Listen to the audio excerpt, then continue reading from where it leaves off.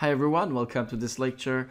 Uh, so in this lecture today, uh, we'll uh, we'll see how uh, we can add a color bar uh, to our map, existing map uh, in the Google Earth Engine.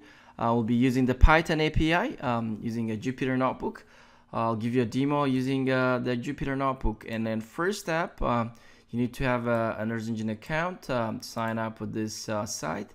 If you don't have one yet, and uh, install either Anaconda or uh, Miniconda to get started, and install um, uh, Earth Engine uh, using um, a Conda uh, environment using this um, um uh, command. And after that, uh, you can install geemap using this um, this code I've already installed. Um, so next is uh, to import the Engine uh, uh, and geemap libraries, uh, which are used to uh, access the Google Engine uh, API here, and also um, some of the you know the mapping utilities using the geemap um, library. And once you do that, you um, will need to authenticate by running these two codes, EE authenticate and initialize. But I've already done that. So um, I'll skip this. And so next step is uh, running this uh, part of the code um, to generate a map. So map, uh, map uh, map will create a map canvas uh, uh, so that we can you know look at our, our result analysis result and display it here. And so first thing is to let's load a countries database um, by activating this chunk of the code. So um, we'll import this, you know, countries um, uh, feature collection, which is already uh, existing on the Earth Engine uh, library um, or archive, uh, in which the feature collection ID is uh, this uh, LSIB simple 2017. That's a, global admin data, and I'll subset um, um, a study region in this case USA to kind of um, focus my analysis to a specific geographic region and I'll name this variable as ROI and then countries filter. Countries is the uh, imported data. And next is to import the digital elevation model the USGS um, digital elevation model here. Um, so I'll import the USGS uh, uh, digital elevation model SRTM data using EE image and this is the image um, uh, collection ID and I'll clip it by my study area because this is a global data okay? And next uh, is to create actually the visualization parameter. And I would like to display that digital elevation model um, here. So I'll create some visualization parameter here I'll define the minimum and uh, the maximum value. Um, you know the maximum value I would say about 4,000 uh, uh, meter above sea level and minimum zero. And uh, define some color palette. You can you can provide this different colors if you want to. Uh, these are just some um, you know color codes that I um, um, chose for this example and at last you would um, you would do the displaying the map finally, right?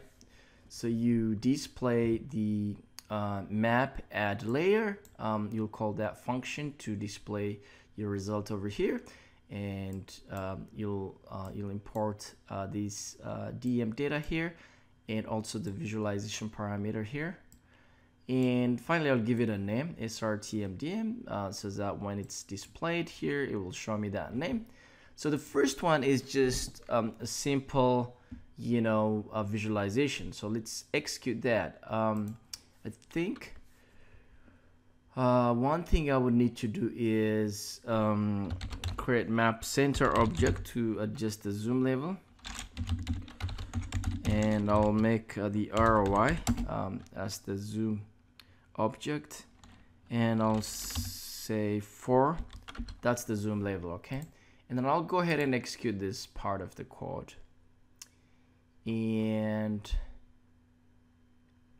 so it's not coming oh so maybe it's uh, I need to call the map object all right okay it's coming perfect so the yeah so as you can see here um, you know, we have some nice looking visualization parameter here. Um, and so as you can see here, you know, this doesn't have uh, a legend, uh, you know, uh, and also a color bar, right? And in the next exercise, what we'll do is just we'll add a color bar here to this map, okay? Um, so let's do that. And so we'll define, um, a, you know, colors are, uh, you know, visualization parameter. So we'll call um, this, you know, palette and also uh, we define the visualization parameters. So what we're doing here is we're defining the colors from the visualization parameters, right? We already have a visualization parameters here. So we're calling from that dictionary, we're just calling each item here. Palette is the color here. It contains all of these colors. So instead of calling all of these colors, we just um, um, we just call that palette in that dictionary that contains all of these different colors, right? And the same thing, uh, visualization mean, we instead of uh, you know, writing it, we just call this dictionary mean, and then also the max the same. And after that, um, and after that, what we need to do is let's just execute this, okay? So every time we um, want to display a map, we need to call that map. That's uh, slightly different between the Python and the JavaScript version, right? Okay. Um, okay, so this is, you know, where color bar um, is, okay? So, and, um, and so we have added that map add color bar, right? So that's the function that helped us to add this color that you can see down here, right? And so it has, you know, the similar color to what we have here. And we have the minimum and the maximum. As you can see, zero is the minimum and the maximum is 4,000. If you look at here, that's what our parameter is. Let's just zoom a little, uh, move a little bit up. So the minimum and the maximum. And these are the color codes that we have provided. If I change those, uh, they'll change, but for now we don't need to do that. So that's our first, uh, you know, color bar um, uh, using the Earth Engine Python API, um, and which is a horizontal color bar. You know, sometimes you want to move it to a vertical one, and sometimes you might need to do transparent, like you, you have some white background here, so you might need to remove that. So we'll do that in the in the next exercise, um, just in a few seconds, okay? So that's our first uh, map. We have already, um, you know, this map's in our object, so we don't need it again here. Um, and okay, so the next thing is, um, you know, let's let's change this to, um, you know, a, a vertical one. So sometimes you might prefer your color bar to be horizontal, but sometimes you might want it to be, you know, vertical, right? So now let's convert this into a vertical version. To do that, I'll execute the next code.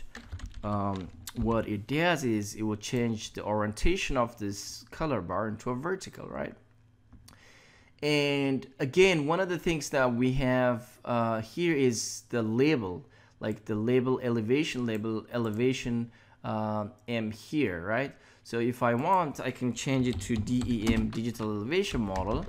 You know, if I change this, it will change in the vertical version, right?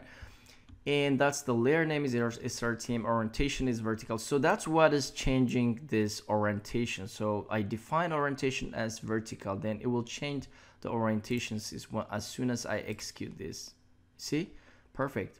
So, and I also changed the name here from elevation to DEM. I mean, you can change it to anything, okay? Uh, so that's the, you know, color bar title. You might need it sometimes, you might not need it. So uh, pretty nice to have it here. So, and the next thing is, you know, you might say, okay, I don't need this background, white background. It, it does look, you know, nicer.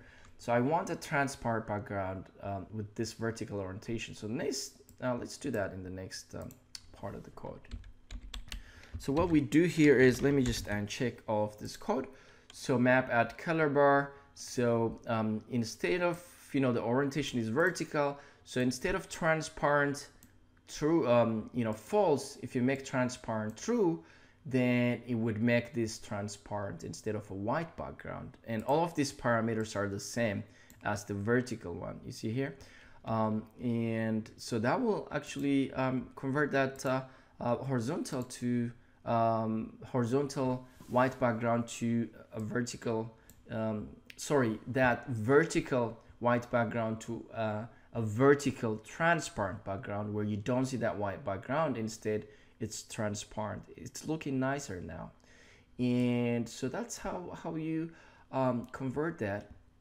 Uh, now, I mean, you, it, it's, it, it looks a little better. I mean, it's up to you. Some, you know, if you might choose the white background or you might choose the transparent, but this is how you can do it. Uh, the Earth Engine Python API.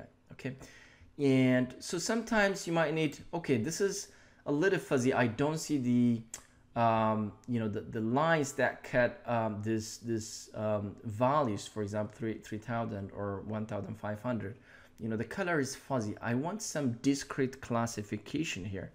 And that's how you do it um, in this code. Let's just uh, uncheck that. So um, in a state of instead of um, you know a regular um, stretch uh, color bar, you would define discrete as true. That will give you a standard classified discrete um, color bar. Okay, let's execute that. Here we go. So once you execute, you execute that, this will be converted into uh, you know discrete uh, classified uh, color bar now you can see what each specific color is just uh, you know assigned to right so that's how you do uh, add a color bar on the Earth Engine API um, you know to um, and also change you know orientations of a color bar from vertical to uh, horizontal and adjust transparency and also do uh, add some classification to your your data uh, continuous data for for simple visualization